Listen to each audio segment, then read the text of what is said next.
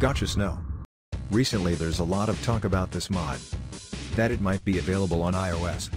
I mean, we all knew that iOS release of a mod is impossible. Even the popular mods couldn't get an iOS release. But this mod creator says they want their mod to be released for iOS.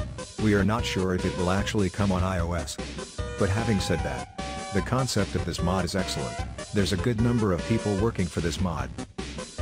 And assets that will be available for this mod, looks amazing, even if it doesn't come out on iOS. It will still be a good mod for Android. So I am looking forward to it.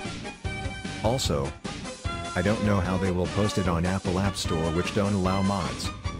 But if they can do it, then go for it. There might also be another big problem because Lunime doesn't allow mods in App Store or Play Store. But we will see what happens. I will tell you to support the creator. Well let's hope for the best.